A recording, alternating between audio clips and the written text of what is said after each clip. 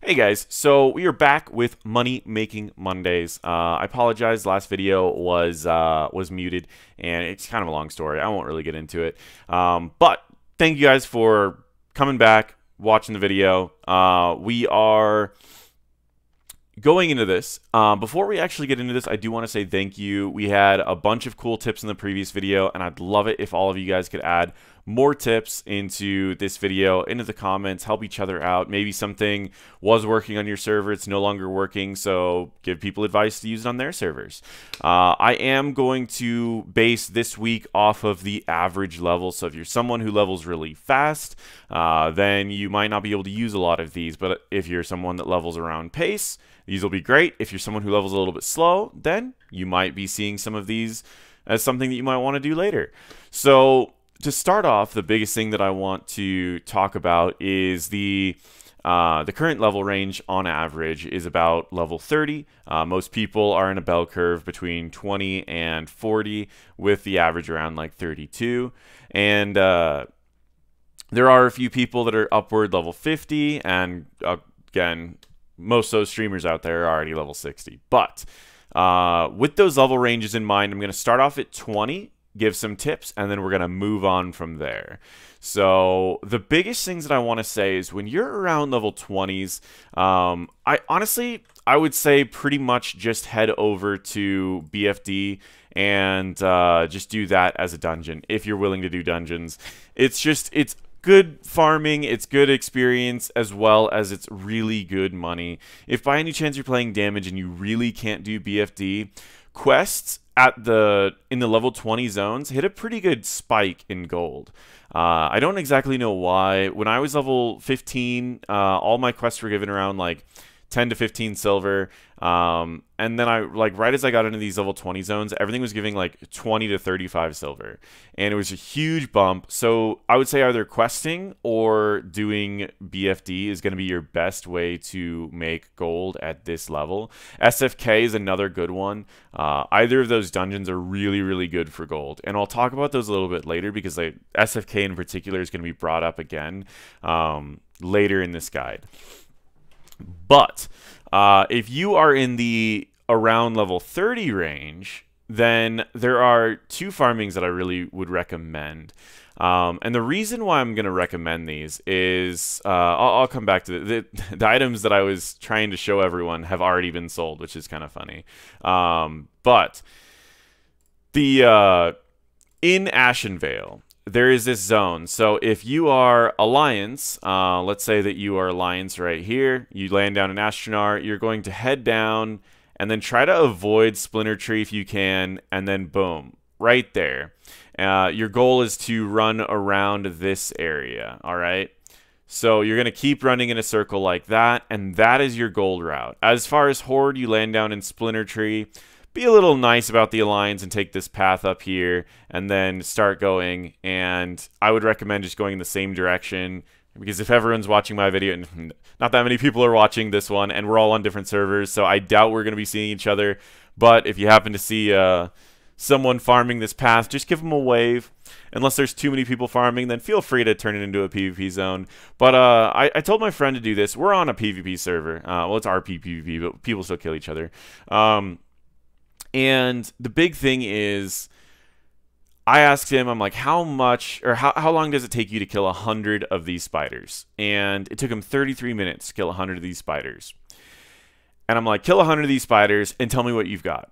And so he got by the way, he was playing a level 28 shaman. You could do it faster. I'm positive if you're playing like a hunter, uh, a rogue, or if you're just a little bit higher level to where you're creating all the enemies and then they are. Uh, so I would say this is a good place to level from like 29 to about 33. And with the amount of gold he made, and I've been checking other servers for the, the this item that we're farming, um, it will get you your mounts pretty much if you just farmed from 28 to 33, you'll get enough gold to get your mount at, at uh, 40. Um, but if not, I'll bring up a couple other zones in a little bit. So right now, um, there is everyone's trying to level their professions, right? And spider silk is an item that is in a lot of these guides that are online to level them. And I don't really know why this item's in all these guides because it's an item that not a lot of people are farming. It's an item that not a lot of people are using or like getting.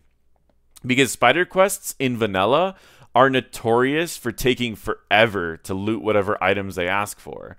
So the people that do them will get a lot of farm, but a lot of people in these like leveling guides um, are just avoiding these quests because they take too long.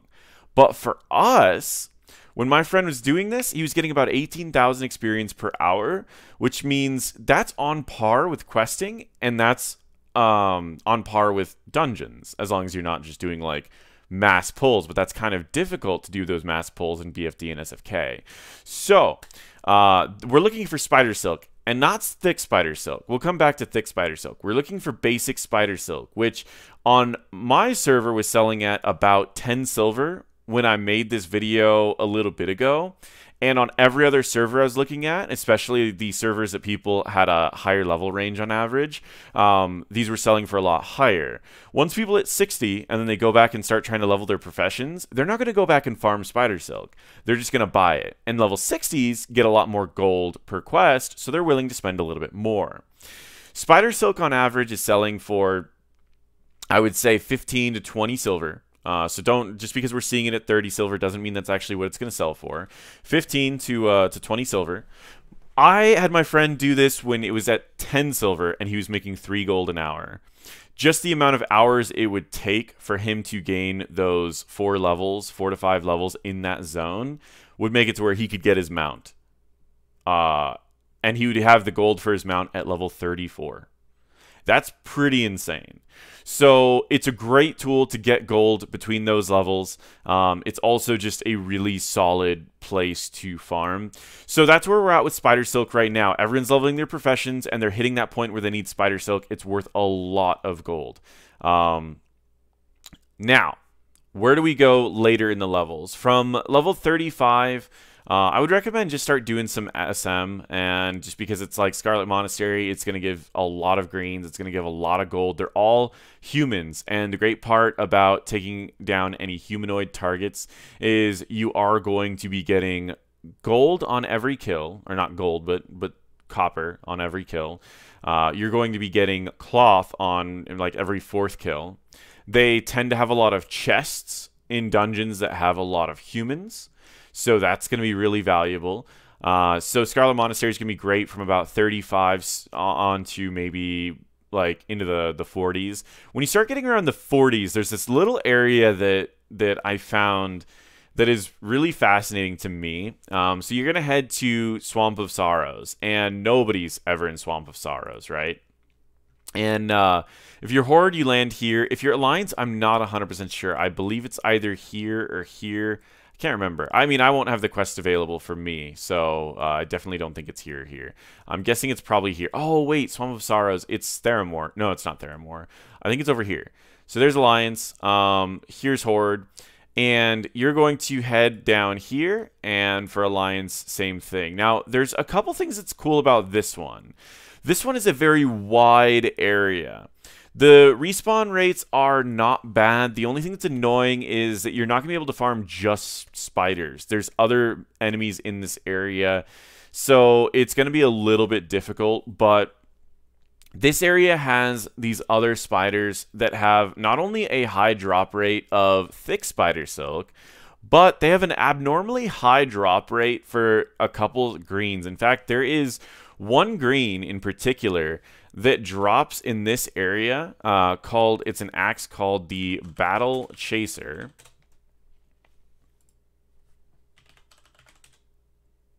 Hold on. Hold on. Oh, hold on. It was a. Uh, that's kind of weird.